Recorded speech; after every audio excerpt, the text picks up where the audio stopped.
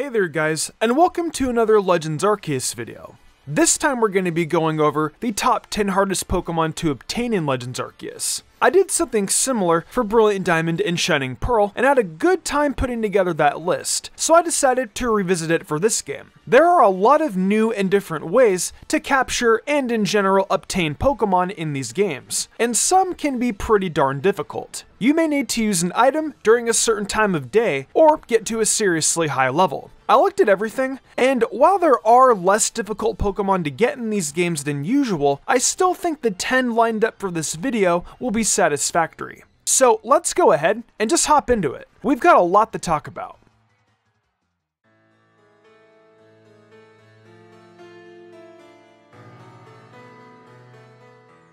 So, we're gonna kick off the video today with an interesting entry, being the OG Psychic Pokemon, Abra. So, the thing about Abra being hard to get your hands on isn't the fact that it's hard to find or that there are special conditions to getting it. No, Abra is literally hard to get your hands on. The thing teleports all over the place. You need to sneak up behind it to actually get it to stay in place. And that can be hard, as the smallest misstep and you're spotted.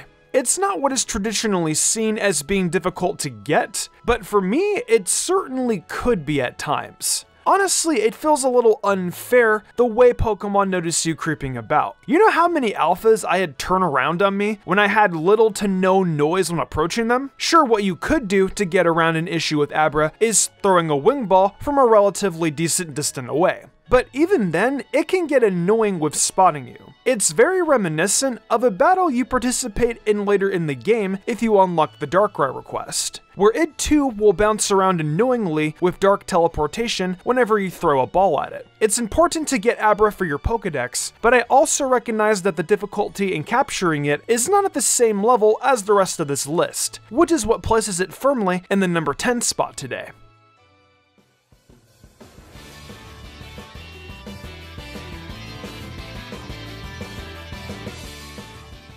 Next up on the list, we've got a whole ton of Pokemon all tied for this spot. The ones that are exclusively available inside of time-space distortions. We're talking Pokemon ranging from original forms of Hisuian forms like Sneasel, to Pokemon that have no reason to exist in the past like Porygon. As you guys are aware at this point, the distortions like to show up at their leisure, with no known way of how to trigger them at the time of this video. There are certain Pokemon that are only available by way of these distortions. Like I said, Porygon is one, but others included are Weavile, Magnemite and Magneton, the Bastiodon line, and the Rampardos line. I kind of hate that this is the only way to get some of these Pokemon due to how rare a distortion can be, and the fact that you're not guaranteed to find any of these Pokemon. But even then, they're only the number 9 spot here. They can be super rare and hard to get in their own right, but still you're usually able to find at least one of these exclusive Pokemon per distortion,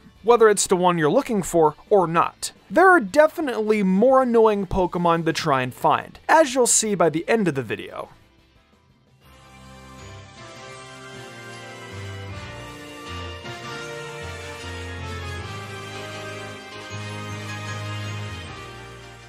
We've got another group entry here, as I'm gonna go over all the baby Pokemon here in the games. Because I know I've had a bit of a hard time finding them, and their actual rates of appearing aren't high by any means. For instance, Pichu has more than an 8% chance of being found in any possible areas that it can spawn. Elekid, Mime Jr., Magby, Togepi, Cleffa, and Happiny all have these low rates too. So trying to find them out in the wild can get very tedious when you're constantly needing to leave an area and go back just to see if they've bothered to show up.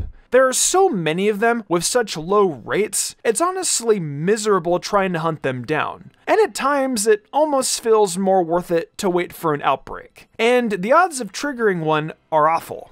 At the very least, with Dimensional Rifts, you're able to go about doing other things in an area while waiting for them to open up. But with the baby Pokemon, you just need to get heading back to Jubilife Village and coming back over and over again. And it's just so annoying to have to do. I honestly think it's worse than the other two, but quite frankly, the rest of the list is genuinely hard to get as opposed to just literally rare Pokemon.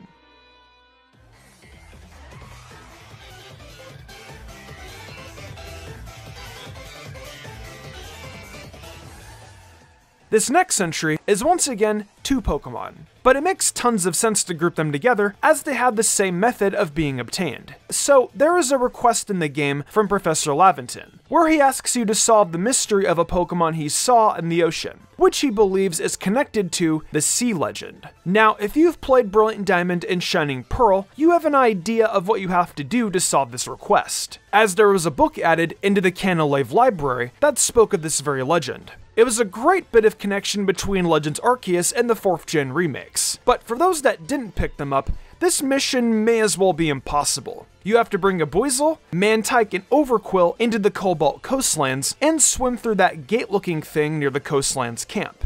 Then you'll unlock a doorway somewhere in the mountains, and inside you've got a Manaphy and a few Phione waiting for you. That's right, they're the entry here, because they can be very hard to get if you have no damn idea how to complete this request. Also, if that wasn't bad enough, getting Overqwil is an absolute chore as well. You need to use Barb Barrage 20 times as a strong move in order to evolve Qwilfish. And of course you need to infer that from Qwilfish's Pokedex requirements. So the fact is, these are incredibly difficult Pokemon to get, and it's the only way you can get them. Sorry for those of you who skipped BDSP, but if you're trying to complete your Pokedex without a guide, you're going to be skipping these Pokemon too.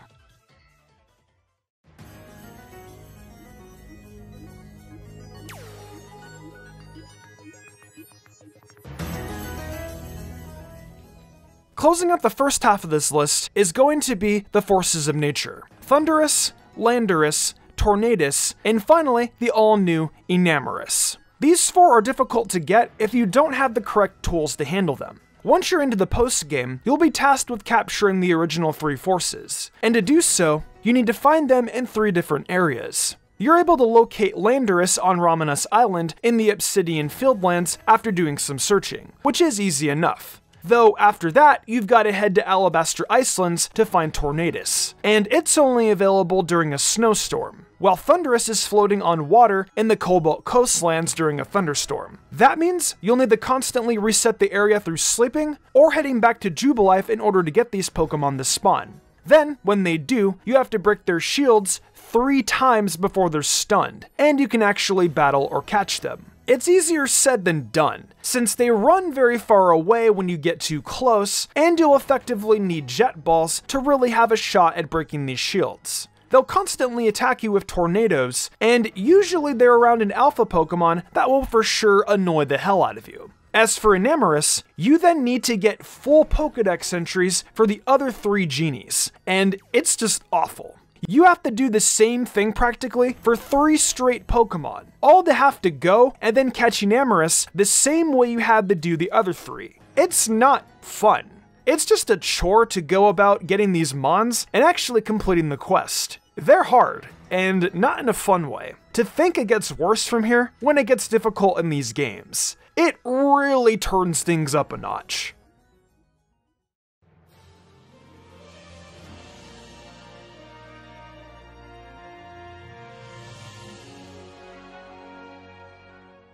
So opening up our top 5 is an entry I consider to be about as difficult as the forces of nature, but ultimately quite a bit harder due to the quantity. All 28 Unown are sharing this spot, as you have to search every nook and cranny of the region just to get them. There are little hints in the Pokedex to tell you where every Unown is, but that only helps a little bit. You need to solve every riddle, get to the proper areas that they're alluding to, and then on top of that, find the proper way to catch them. For example, there is an Unown that is attached to the volcano and the Cobalt coastlands, and you have to use some sort of feather ball to get it, as throwing normal Pokeballs won't work due to how high up the volcano is. It can be straight up miserable at times, pinpointing the exact location of where these unknown are so you can add them into the dex. At the very least, there are some funny locations like the one on Magikarp's Eye at the top of the Galaxy headquarters, and the one behind your house in Jubilife Village. But the few laugh hunting these Unown can break are far outweighed by the aggravation of cracking the riddles and finding wherever they may be. If you guys think it's harder to deal with the forces of nature, let me know,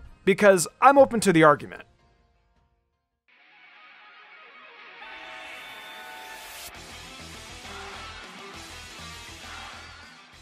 Here at number 4, we have got Spiritomb, which is sort of like a distant cousin of Unown in these games. What I mean by that is they both operate in a similar way. You need to find all 28 Unown in the world by way of cracking riddles, while with Spiritomb, you just need to find 107 wisps scattered all about. Yeah, that's it, just 107 wisps.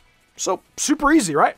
Well, okay, maybe it's not easy at all. If you don't have a guide, it's going to take you hours to find all the wisps out there in the world, especially considering there are no hints. You just know that there are 20 in each area, with 7 in Jubilife Village. And that's it. It's a fun idea that you need to get all 107 spirits to make up this thing, but god, it's just so much work to put in for a single Pokemon to show up that isn't even a legendary or something game breaking. It's funny considering Spiritomb made an appearance on the BDSP list I did about this topic. But it just seems like Spiritomb will probably never truly be an easy Pokemon to capture. But I guess that at least means Game Freak is staying true to its gimmick no matter what.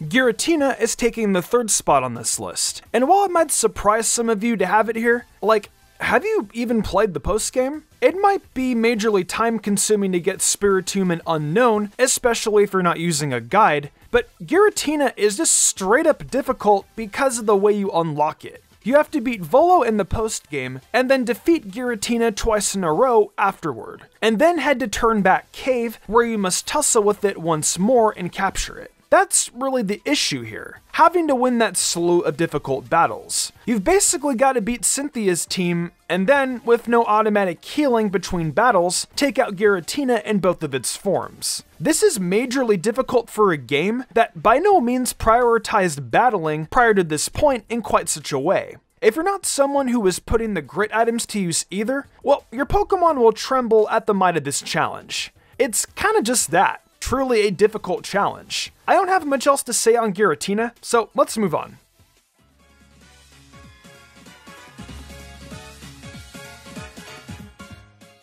In our penultimate spot today, this list is officially being invaded by the memes. You know what the single most complicated Pokemon in this game is? Why, it's Cherrim.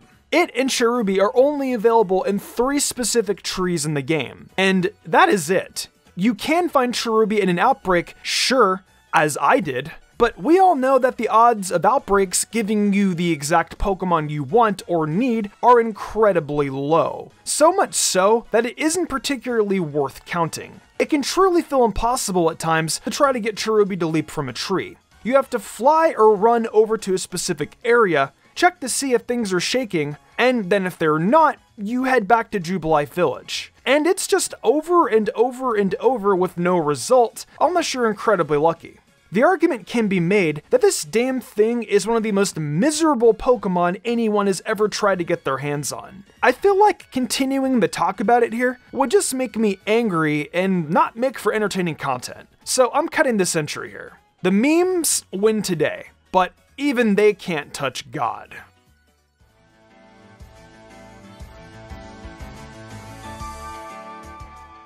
My judgment has been placed. And the hardest Pokemon to get in Legends Arceus, it's Arceus itself. Can you guys blame me for putting it here?